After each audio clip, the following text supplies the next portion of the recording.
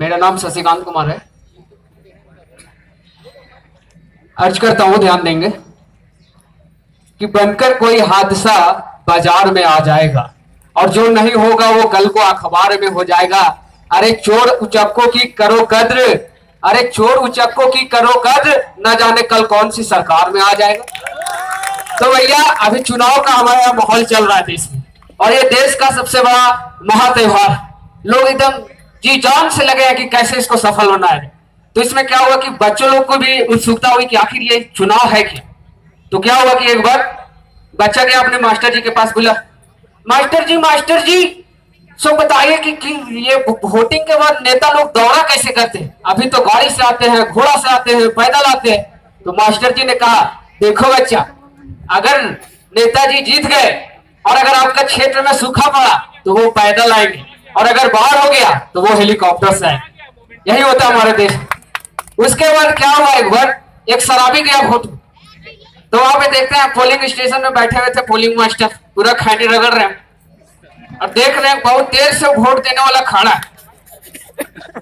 खजवा रहे माथा का करे भाई?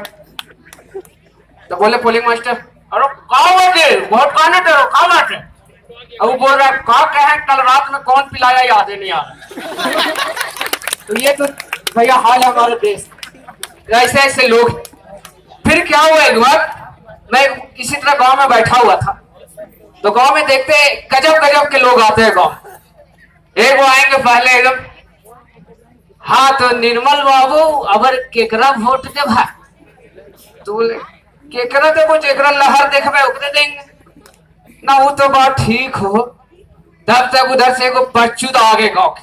बोले अरे कहा बेटे यू निर्मल था से गेलियो कल पर साल फोटवा दे लियो। ससुरा डाल लियो इन्हें चप्पल छाप में और इन्हें चल गलो जूता। अब इतना मार मार लो, अमर गेनिया पप्पा पूरा लाल कर दलो पीठिया। तो बोला, गलत ये कैसे हो गया भैया? बच्चू तो बोले अच्छा ठीक है, तुम बैठ। दूसरा आदमी आया, बच्चू दाफा बोले, बच्चू दा बच्चू दा। से हमर व्यवस्था हो गला, हमरा जे खंबा दे तो ओकरे वोट देबो। बच्चू दा कंफ्यूज बाप गजब गजब आदमी है यार गाँव में। कि जो खंबा देगा, उसको ही वोट देगा। बोले, तू भी बैठ जा। तीसरा आदमी आया पचू दफ़ा बोला पचूदा से हम तो व्यवस्था कर दिलियो, जो नोट देगा, उसको वोट दे। सोच लिए। तो सुबह में आया, चप्पल था तो उसका जिंदाबाद कर दिए। सम्मा आया जूता था उसका भी मुर्दाबाद कर दिए। गड़गड़ा के पीट दिया। आदमी इतना कंफ्यूज है, तू खुद डिसाइड नहीं कर पा रहा कि सुबह में हम जिंदाबाद किए थे कि शाम में मुर्दाबाद करना है। एक तरह से ये अभी कमाने का ज़रिया हो जाता है लोगों के लिए। उसके बाद तीसरा आदमी आया पचुदा फ़र्स्ट, बहुत डरते हुए।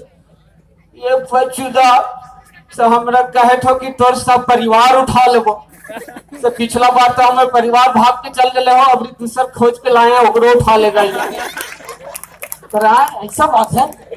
और पचुदा कंफ्यूज है कि बाप रे गजब गजब आदमी मतलब भरा हुआ समाज में है कोई धमकी दे रहा है कि तुम्हारा परिवार को उठा लेंगे वोट नहीं दिया हमारा आदमी को।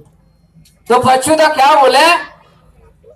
कि न धमकी पे न दारू पे न नोट पे। क्या बोले? कि न धमकी पे न दारू पे न नोट पे। अरे भैया किस्मत बदलेगी आपके एक वोट से इसलिए वोट आप ज़रूर करें। और इसके लिए जो जिला प्रशासन और हमारे चुनाव आयोग के द्वारा जो कार्यक्रम चलाया जा रहा है हमारे देश भर में, आप सब उसका सदा संज्ञान लें और जितनी से जितने भारी से भारी मतदान आप करें आगामी छह मई को, इसी सारी बातों के साथ मैं अपनी वाणी को समाप्त करता हूँ। धन्यवाद। Thank you Shashikant. बिल्कुल नेता जी की तरह आपने अपनी वाणी को विराम दे दिया है यहीं पर। और अब हमारे स्टैंड अप कमेटी के हमारे लास्ट कंटेस्टेंट जो हैं।